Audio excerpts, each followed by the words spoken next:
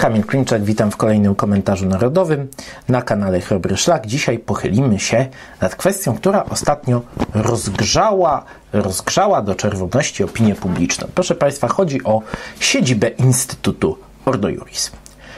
E, Instytut Ordo Juris ma obecnie swoją siedzibę w bardzo prestiżowym miejscu w centrum Warszawy, gmach bliżu, Pałacu Kultury, ulicy Świętokrzyskiej, znany zapewne Pasta, budynek Pasty Polskiej Akcyjnej Spółki Telegraficznej, budynek, który był takim ważnym obiektem w trakcie powstania warszawskiego. Ścisłe centrum, bardzo dobra lokalizacja, prestiżowe miejsce.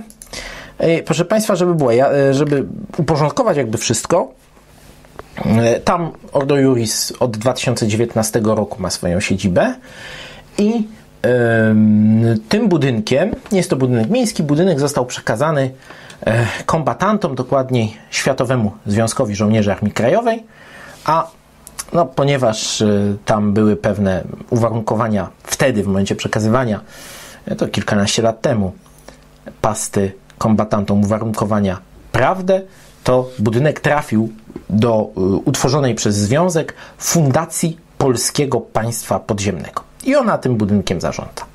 Więc tu, żeby określić dramatis persone, Ordo Juris, Światowy Związek Żołnierzy Armii Krajowej, Fundacja Państwa Podziemnego, gdzie ostatnio doszło do no, unieważnienia zmiany statutu sprzed kilku lat, która no, dawała bardzo dużą niezależność władzom fundacji i do zmian tych władz fundacji, na której czele e, stanął, e, na czele Rady Fundacji dokładnie, nie zarządu, a Rady, dwa różne organy, e, takiej Rady Nadzorczej, można by powiedzieć, trochę przenosząc pojęcia z zakresu prawa gospodarczego na mm, uwarunkowania fundacji, stanął były polityk Unii Wolności Jacek Taylor.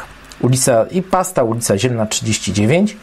E, no i doszło do, e, w momencie kiedy wszedł nowy zarząd, zaczął porządkować pewne rzeczy. Stwierdził na przykład, że stawki czynszu są stanowczo za niskie. E, I fundacja jakby zaczęła, zaczęła podnosić te czynsze według sprawozdania Ordo Juris za 2021 rok.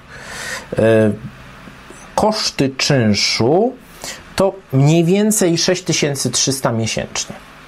A Ordo Juris wynajmuje w paście e, całe piętro. Zresztą i Ordo Juris podobnie na przykład całe piętro wynajmuje telewizja znana Państwu w Realu 24. Ciekawe, czy one, oni też mają takie problemy. Nic mi na ten temat nie wiadomo.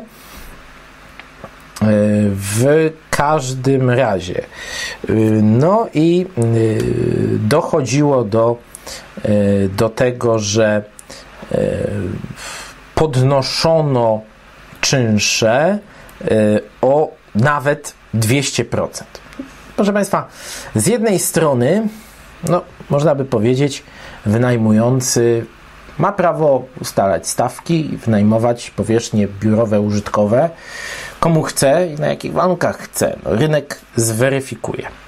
No i yy, tutaj Ordo Juris zaczęło podnosić na yy, alarm, yy, zaczęło bić na alarm, wołać o pieniądze i też o to, żeby bombardować bombardować Fundację Polskiego Państwa Podziemnego korespondencją. E, I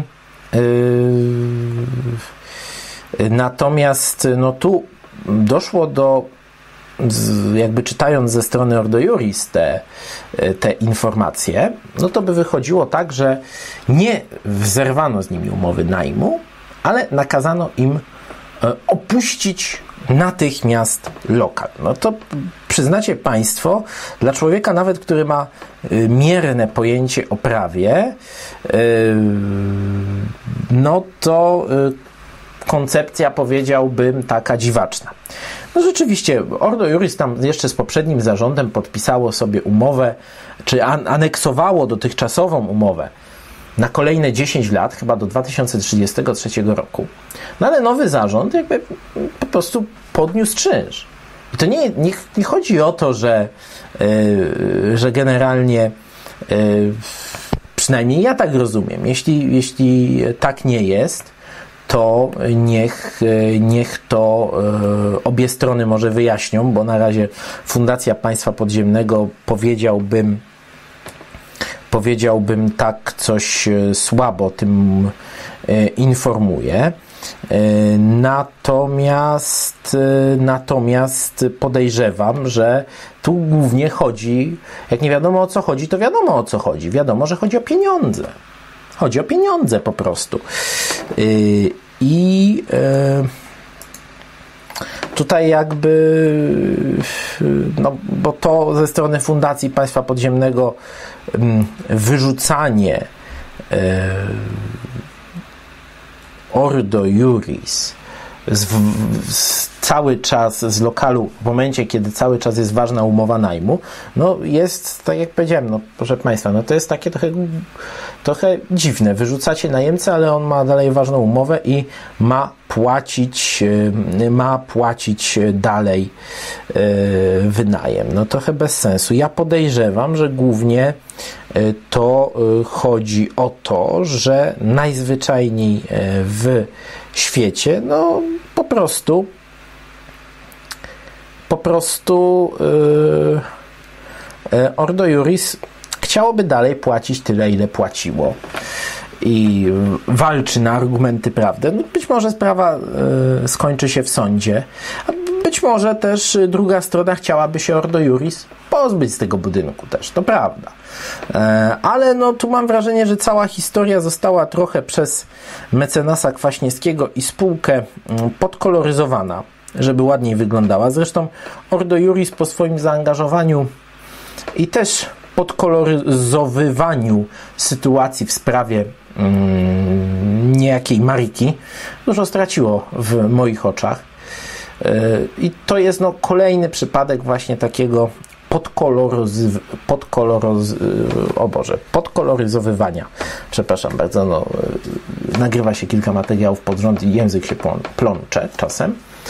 E, tak sobie, prawda, trochę wyostrza tą optykę, trochę się pewne ubarwia, aspekty, no i wygląda jakby tutaj, prawda, lewacy przejęli e, Związek Żołnierzy AK i Fundację Państwa Podziemnego i chcą tam zagryźć Ordo Juris. No, proszę Państwa, jeśli by kogoś chcieli zagryźć, no to też to pewnie byśmy usłyszeli o tym, że e, w Realu 24 dostaje eksmisję na kopach, a nic mi na ten temat nie wiadomo. Nic o tym nie słyszeliśmy, a myślę, że w Realu nie umieszkałoby o tym poinformować. To bynajmniej nie dlatego, że też lubi sobie ubarwiać, e, tylko to dlatego, że dla nich to tak naprawdę posiadanie tego studia, czy nieposiadanie, być albo nie być. No być może oni by znaleźli sobie inną powierzchnię.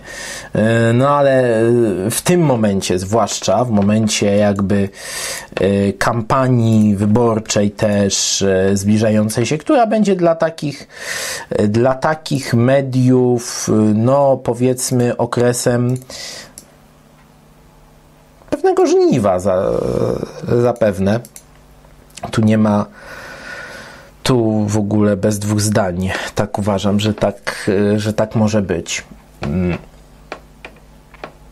To, to na pewno byśmy o tym usłyszeli. Więc ja myślę, że to są po prostu, tam z tego co wiem, Fundacji Łączka wypowiedziano umowę. proszę Państwa, pytanie, czy wypowiedziano umowę, czy wypowiedziano stawki najmu.